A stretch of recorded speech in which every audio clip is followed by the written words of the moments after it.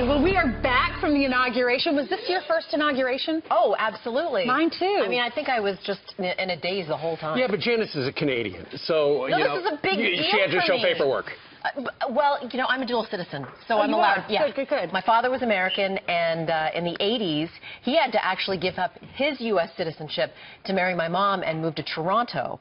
But then in the 80s, with the free trade agreement with Right. Mulroney and Clinton, you were able to get back your U.S. citizenship, and therefore I was able to become a dual citizen. What about your children? Yeah, they are dual citizens as well.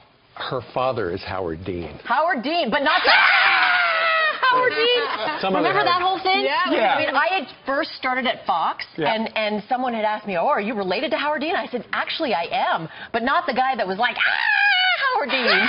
That's so That- funny. Do you have someone in your family that's named, that has the same famous name as someone else? Uh, I will say this. Uh, I would say 50% of the people who saw me in Washington this weekend called me Peter, Peter Doocy. Doocy. The Yeah. famous Peter Doocy. And I would go, oh no, I'm Peter Doocy's father. And That's like, such a compliment. Oh. You know, you're such a good dad because when you were in D.C., he spent, you know, obvi- obviously all the time on the air that we had to be on the air, but then you spent time with your family, your whole family. And as it turns out, the first night, my daughter Mary was able to join us, uh, join up for dinner at what had to be maybe one of the best restaurants I have ever been to in my whole was life. Was that the one that we were Yes, at? Yes. That What's Italian steakhouse. What was it called? Something Acqua. Yes, It's it was based on a, a restaurant that is in Italy somewhere. Why am I why am I hearing about how great the food is when we come back? I would have eaten there if I had known. Oh, it I was had that blueberry steak. I had that too. How good was that? blueberry steak. It was a steak with like blueberry sauce on it. It was. It was good. I gotta look up the name of this place. Oh, my gosh. It, Huh. uh, uh, Where I is it? three Where's it fillets located? on Capitol Hill over by the Eastern Market. Okay.